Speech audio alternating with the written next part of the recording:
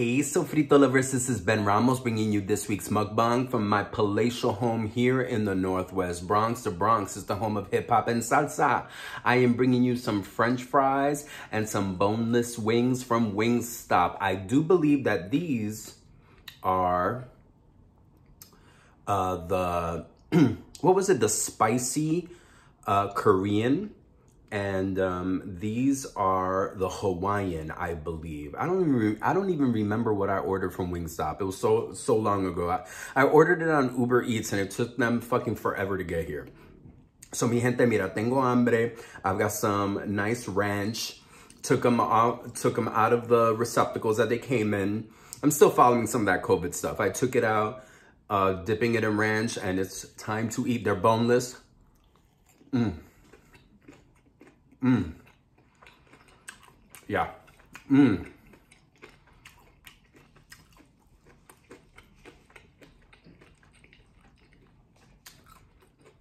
Yeah, that was Hawaiian.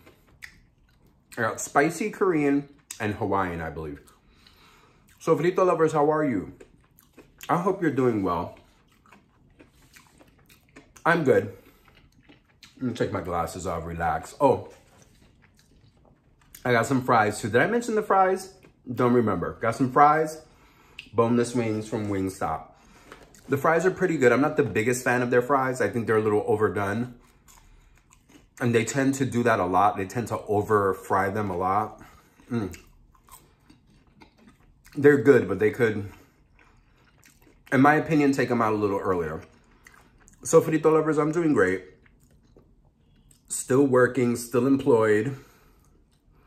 Still kind of going crazy at work. Things are so different. Things are so new. Look, this is the, this is the, the spicy Korean. Mmm. Mmm. Mmm. This Wingstop opened up maybe maybe in the fall of 2019. I don't even think it's been around for a year. It actually replaced a Korean barbecue place that I really liked. But unfortunately, unfortunately, I think I was the only person that liked that place because it shut down immediately after opening. I was like, what's up? The Bronx doesn't like Korean barbecue. Mmm. Doing great, mi gente. Look at the Wingstop. Mmm. Doing great, guys. Just working and grinding and getting used to the new job flow. Mmm. Oh, so good. I spent the weekend with my bear bear David. He's off of quarantine. So we were able to hug and kiss and smooch and do other stuff.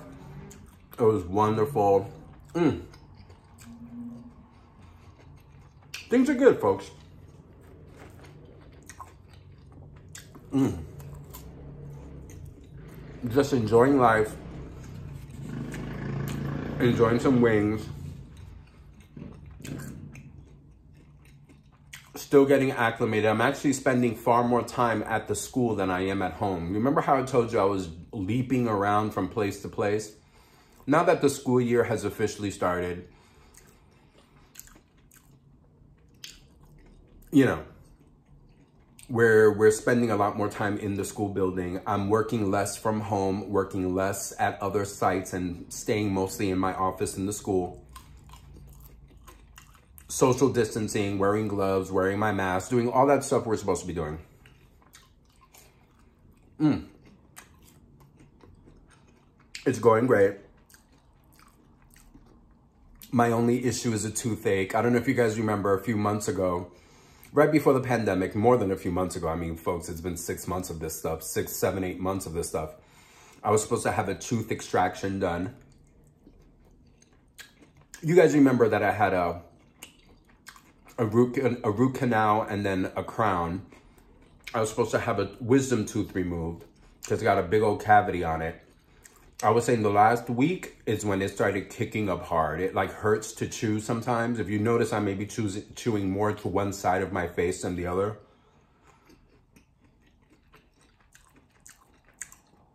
So this Friday, I'm getting this wisdom tooth with the big old cavity on it removed so that I don't wake up one morning with half of my face swollen, full of an infection.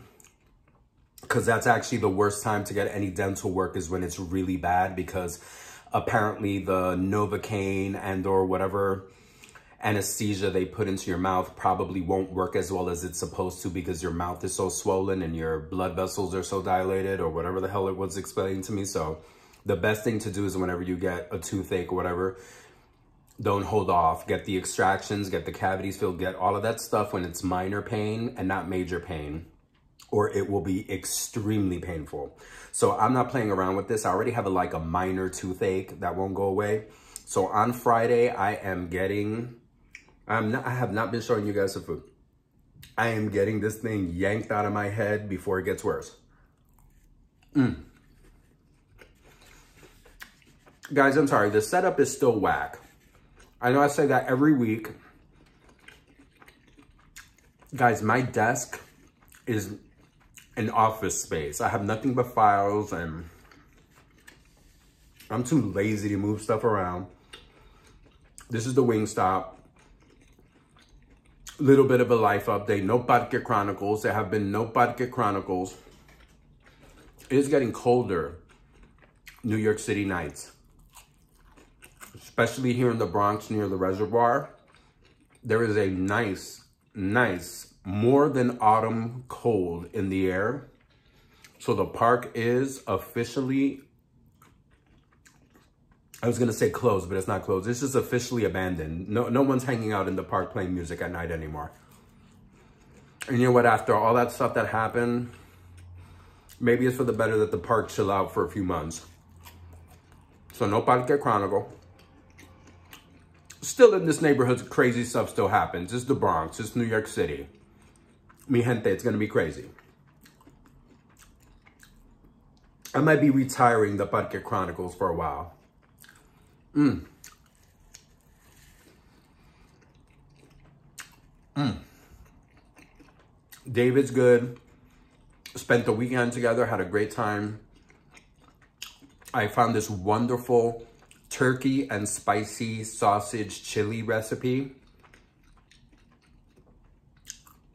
Made it for Sunday night dinner. He loved it. He's not a big fan of spicy food.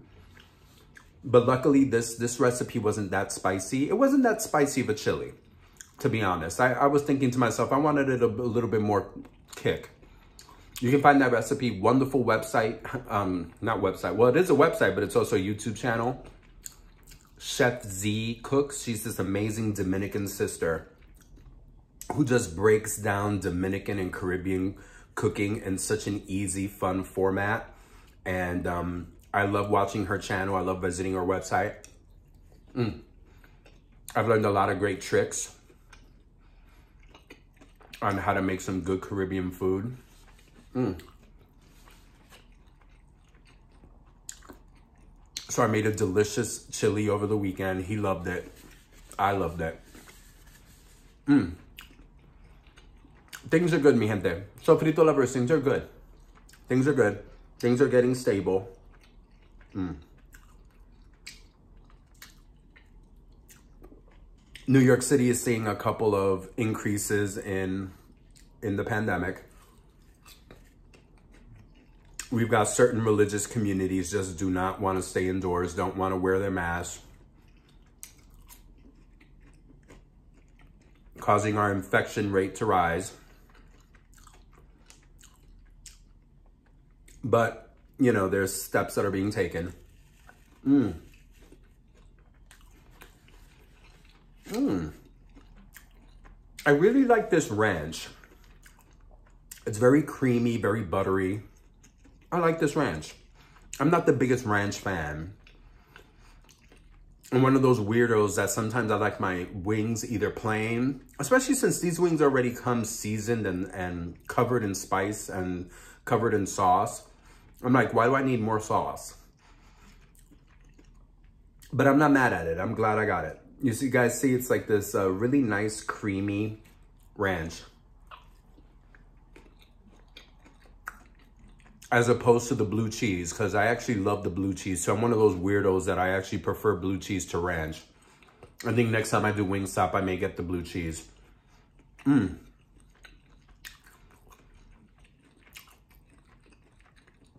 As you can see, Sofrito lovers, I'm just randomly going from topic to topic. just another weekly update. Things are good. I've said that 50 times already. Things are good. That's my go-to. Mm.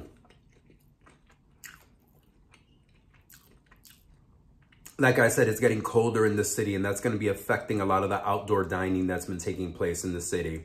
Where a lot of places are going to start going back to just um,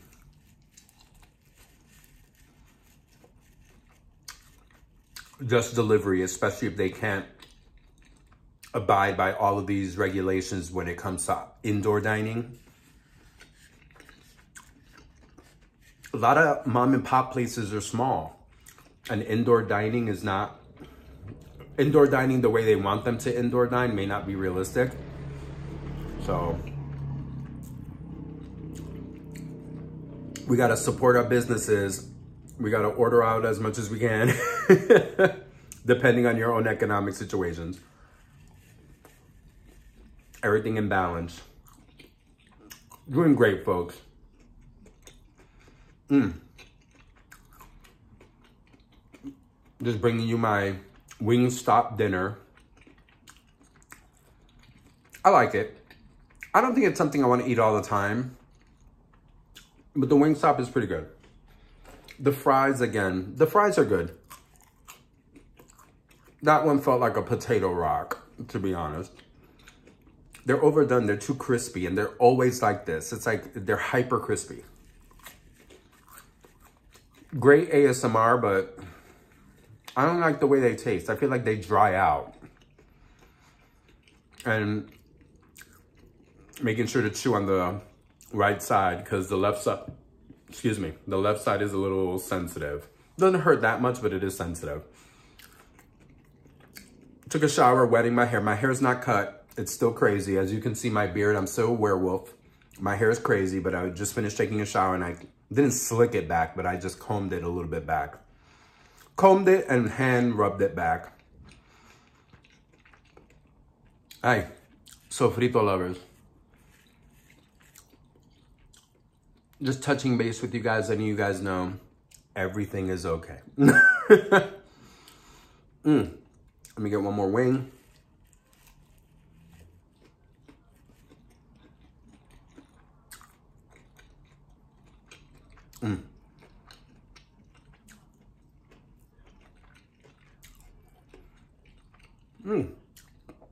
Really good, you guys. Mm.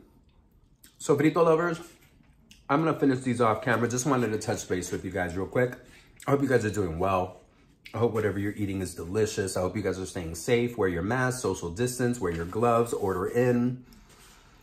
Be careful, especially if you're in one of those states that I'm not technically allowed to visit. mm. They're nice and seasoned, but God, they're so hard.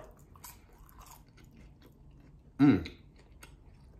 Sofrito lovers, stay safe, take care of yourselves. Stay home, cook, order in. And if you have to go taste for yourself, go out there, be smart, be safe. Abide by the rules, take care of yourself and take care of each other. Como siempre, mucho, mucho amor. Buen provecho. Hope you guys are doing well. Nos vemos pronto. Mucho, mucho, mucho, mucho amor.